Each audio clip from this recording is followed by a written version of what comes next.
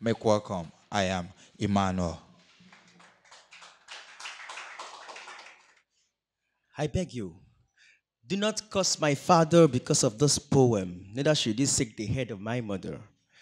Please do not let your voice break into shards of painful prickles, prickling tears down your faces. Please don't. Because it wasn't the fault after all. You see, with the country where I come from, as a male child, you are a god.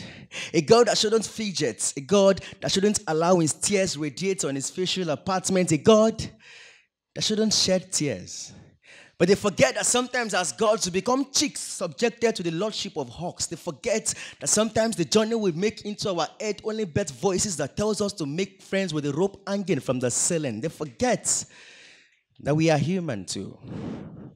The first time I told my father I was depressed. He looked deep into my face, positioned his cocked bullet of words towards my head, and he released them into my ears to father. My depression is a big sack of shame I've decided to draw along my path of growth to father. My depression is a mark shielding my bravery, making mockery of the man I am becoming. What do you want the girls to say about your estate? But father didn't know that I am not only a boy, but I am human too.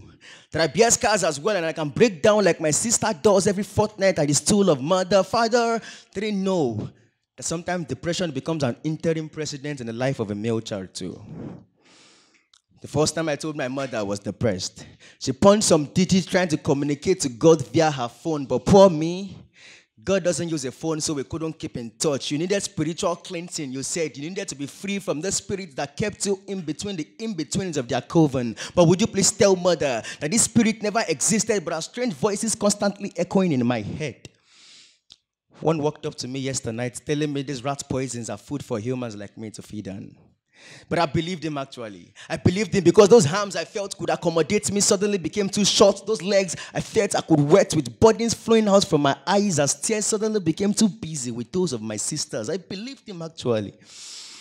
And today, like every other day, I try giving myself quit notice from this body. Maybe boys like you doesn't need to exist. Maybe boys like you only need to exist as inks floating on black and white sheets. Maybe boys like you only need to exist as poems fading off as beautiful sorrows in an empty room. But please, whichever way this goes, do not curse my father because of this poem. Neither should you seek the head of my mother.